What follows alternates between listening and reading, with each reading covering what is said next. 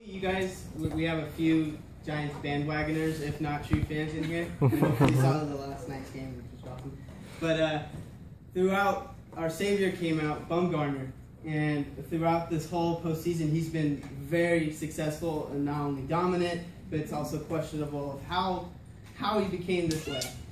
Now, what if I would have told you he's been so successful because he dropped acid before every game? He You'd probably assume that that's not fully correct. Well, uh, in Doc Ellis's case here, uh, in 1967 or if it was 76, I don't. I think I got those two switched around.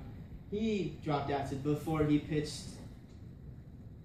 Uh, uh, pitched a no hitter, and uh, throughout his experience, he he was leading up to that game. He was already under the influence of acid, and he was about 72 hours in, and he got to the game an hour before it was scheduled to start, and he pitched a no hitter.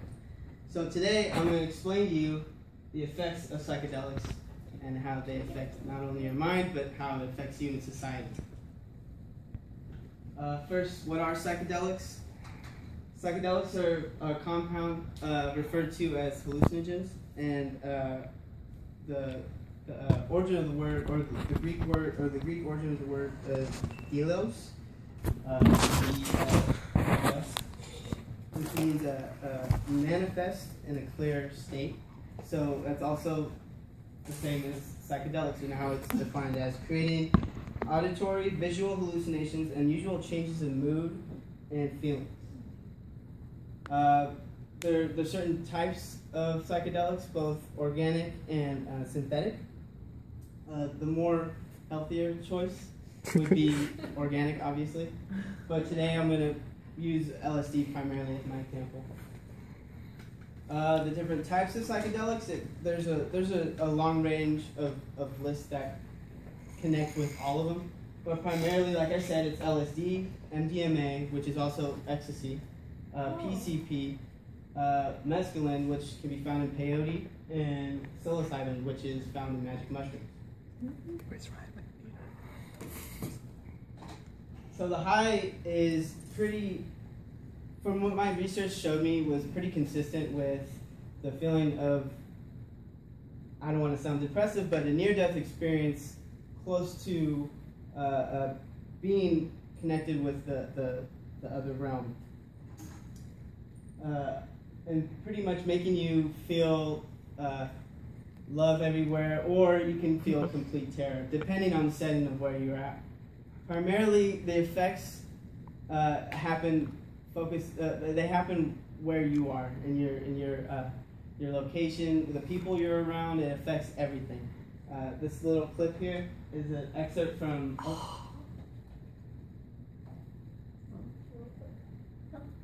Oh, Um, okay, well that's horrible. Uh, uh, there's a movie called Fear and Loathing in Las Vegas, and Hunter S. Thompson is a famous journalist who is also uh, a, very large advocate for psychedelics. And in this in this uh, clip I was about to show you, he's at a bar in Las Vegas, and an hour or two before he got inside of the bar, he dropped acid, and pretty much is the, he was describing uh, he went into a reptile zoo. So he was standing at the bar ordering a drink with his friend, and suddenly he turned around and he saw nothing but dinosaurs, lizards, people that weren't human, and, and, they were molding into the, the, the ground. The ground turned all bloody. He was he was just he, he's seeing these amazing things, and uh, it kind of just escalates from there. But primarily the high, it affects your whole body. You're you're you're pretty much numb. You feel like I said, you're elevated. And uh, out of all the research I've done, a lot of accurate stuff has been, or a constant is the tunnel vision you get. There's always a bright light that affects you. And when you're when you're high off these psychedelics, it, it affects primarily your frontal cortex of your brain, which is not there. And uh, it's located right here. It's pretty much the, the control center of your brain, which actively puts everything that we see out in the open, what, what seems real to us. But uh, when we're when we're high off psychedelics, these uh, these sensories, these uh, neurotransmitters get kind of uh, uh, uh, they, they start going chaotic, and the frontal cortex, which connects everything for reality, is distorted and slows down. So then it looks for other parts of the brain to help. But the other parts of the brain are something that we don't usually use in our subconscious. So what then happens are we seeing things that we're not normally used to seeing. Oh, nice. And and uh, and like I said, it depends on the variety of the setting and the location. Uh, Jane, oh, uh, okay, the hollow mask study. Uh, um, psychologist um, Torsten Passie, uh, an MD, at uh, Hanover Medical uh, School in Germany, uh, conducted the hollow mask test, and it was a it was a staged uh, test where it had um, sober people, uh, um, schizophrenics, and people high off psychedelics.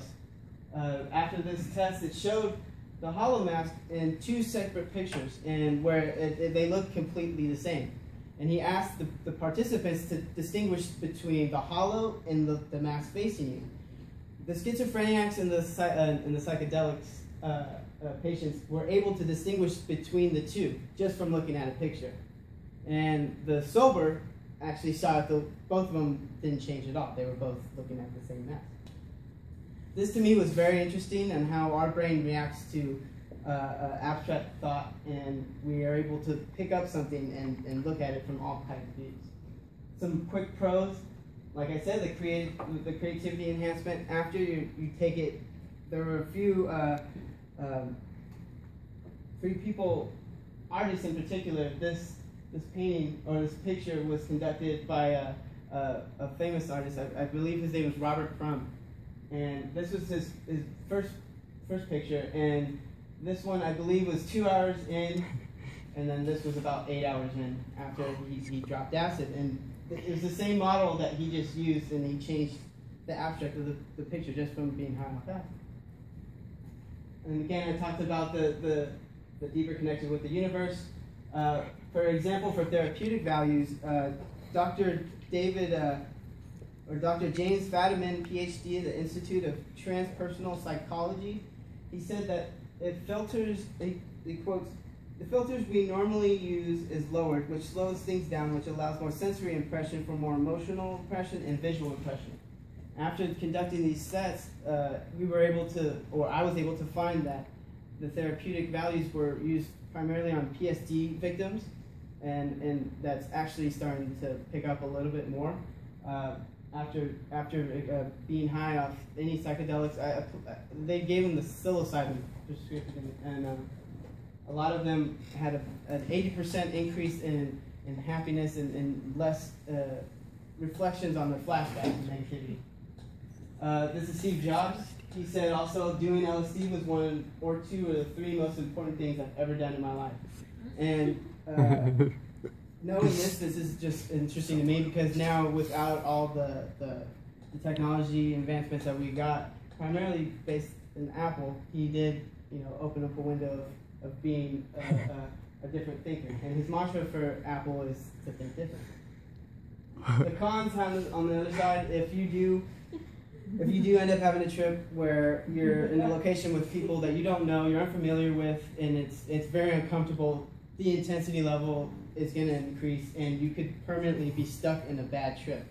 Also, it can bring up a lot of bad bad flashbacks in your mind and and and create another psychological breakdown. Uh, quick history. Uh, this man here is Ken Kesey. This man here is Timothy Leary. Uh, Timothy Leary, it, actually both these men were in uh, in CSI, CIA tests conducted on acid, um, primarily to see the effects that it can have on uh, our, our our government, not our government, but our military, and we were using it some sort of secret weapon. That was their idea. They were going to give us superpowers, but when they tested it on people, they were climbing trees, you know, trying to feed birds, and you know, loving life. And these two were exposed to those tests, and they actually went out and said, "No, we shouldn't be using this negativity. We should be doing this every day." And uh, Timothy Leary quoted, "Turn," or this is actually something he lived by strongly after. Turn on, tune in, and drop out. And this is during the time of the Vietnam War, where the generation gap was actually fighting each other. So he said, "We don't want to go to war. We don't want to fight. Let's just sit down, listen to Indian music, and zone out on the carpet rug." You know, and that's that's pretty much how that went about. Uh, the DEA, uh, the DEA counts for 32 million people who use psychedelics. 17% are American adults between ages 21 and 64. The possession of selling psychedelic drugs is a felony and, and can cause a jail time. Uh, 2.2 percent of college students have tried psychedelics. uh, so that's I, I, don't know if that's crazy or not. But uh, primarily, I just wanted to say, uh, you guys, life is too short. so if you ever get an opportunity that you want to make an interconnectedness with yourself and find out what you can do, experience that.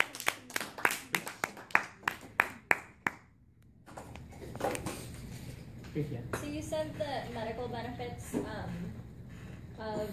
I have a lot more to say, but when you put up the three minutes Mhm. already, Yeah. that's a, okay. Um, if the psychedelics are good for PTSD Mm. because you said they're eighty percent happier. Well, that kind of cut off. Okay, so the success rate actually was it's it's about fifty percent because not all of them can, like I said, once they took it, they either snapped them back into that Uh-huh. place or it, you know, so it was a 50-50 as far as success rate. The eighty-eight percent was actually connected with another stat as far as uh, I believe his name is David Doblin. He he or no Rick Doblin uh, of Multidisciplinary Association for Psychedelic Studies. He uh, he actually conducted a, a PSD treatment and um, uh, it was using MDMA or ecstasy, and he said that that had more of a benefit than the other psychedelics did. There was a more positive outlook on life after that. Okay. Another question. This is um, really quick. Is Molly like you know Papa Molly? I'm sweating. Is that is that a psychedelic? Uh, it's. I, it depends on the dosage because Okay. primarily I'm not. I, I don't know. I've never done it, but it, it, one it, I've heard is just you, you just need to It's maintain your supposed to be fluids. It's, two. yeah, it's two. That's when you start. It, Feeling. Yes. Is yeah, it just so it's, ecstasy? Okay. Yeah, it's supposed to be like ecstasy, It's like but a, it's, it's like a. It's a more enhanced version of ecstasy. Yeah, you, it's, it enhances your, your feelings and, and visuals, everything like that. Yeah, I was in. I don't believe you see hallucinations, I saw though. a guy on Molly, and A it guy. was disturbing. That's Yeah. I just I didn't know I didn't just like looking at him before you know like his group told us what was going on. Right. You just have no idea. You you can't figure it out. I mean, my That's why I was arms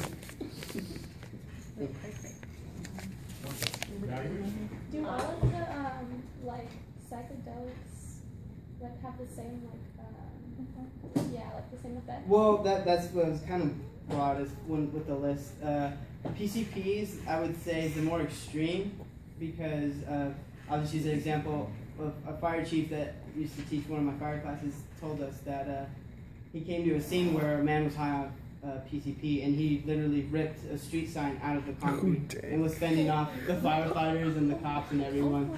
They literally saw him rip it out. So that that it, it, it, it damaged his muscles and everything. He, he destroyed his whole body doing that. But it gives you uh, like it, it turns you into Incredible Hulk pretty much. That's what PCP. and I think that's more of the severe. Wow. Okay, yeah. Uh, you primarily focus on LSD. Is it addictive? LSD. Uh, it uh, depends on the dosage. Uh, as the research I conducted, a lot of the people only did it a handful of times, and that's what they, they said after. It's something that you just do, and then afterward you rebuild your behavioral status after Oh, that. it's like a reset button. Or you give yourself another perspective. Oh. Oh, did you see that? Um, I don't know. I, I don't know where I saw it, but it was like an artist who was like on different drugs and like did different paintings of himself. Easy. Charlie Sheen. I, I don't know who it was, but I saw it. And he was like, It was self Jackson self self yeah, I think it was like self portrait thing, and he was like on different drugs and stuff like that. I Mhm. don't know. Yeah, That's pretty. I'll look that up though. yeah. He was like on different drugs and like oh, the I know what you're outcome came out. about. Yeah. I don't know. Okay. Yeah, really. Lizzie, you want to uh, do your Oh yeah, and I evaluated you too. Um, you did really good, and I liked how your, your like citations were like doctors and stuff like that, because I mean more like like it seemed more legit. You know It, I I- mean? Incredible. It, it is a lot faster. It has a lot more information. Yeah, and you were Not worried about like not fitting in. Yeah. But you did good, and then like um, maybe like because you were like more of like a pacing, like you just like would step out and then step back in. Is if you're gonna like move, then like All right, move. Lizzie, Lizzie, Lizzie. I'm trying to again this time, but no likes. Oh, Oh, likes. okay. He's making him I cringe. don't do that. Um, okay, so you Throw it up move, you step out and step in. Uh-huh. Instead of that, maybe try to oh my Stay God, this is- still and. or either stay still and move a little bit, or like move around more than just stepping out and stepping in. Okay. Is that Yeah, good? like- Okay. Practice all the time. Like. When you, when you don't pay attention, that's when those little things start creeping in. Okay, we have one more day. Shay. Yeah. Yay, Shay. Yay. Good